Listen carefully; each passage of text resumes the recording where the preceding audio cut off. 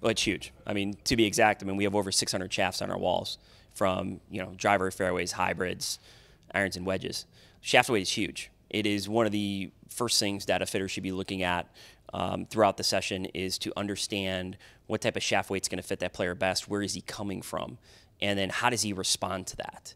So shaft fitting isn't always, hey, we're going to put you in something. We're going to have four. You have you hit four shafts that are all the same. You pick one. Sometimes it's about educating the player in here's a shaft that go ahead and hit it. We're not going to tell you what it is, and then I'm going to give you something else. You give me some feedback. So we look for those anecdotal things during the session that a player is going to give to us to help us understand which direction we're going to go next.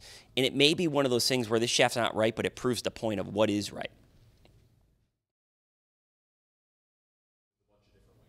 Right. I mean, our fitters, I mean, there's a lot of adjustability in product today. We have a lot of movable weights, being able to take them in and out of a product. Um, we can fine tune that swing weight quite a bit. I mean, in, in some drivers, we're able to, to move it eight to 10 swing weight points to, for that player's desired what works for them.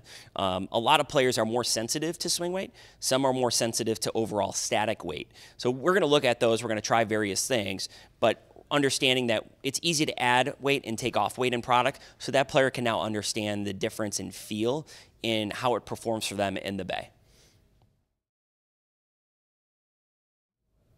Well, I think uh, you know there's uh, in in the recent years when you look at drivers, right? They've all gotten longer.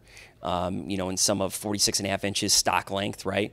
Um, lightweight shafts and the heads have gotten a little bit lighter, and that's developed more club head speed for a particular player.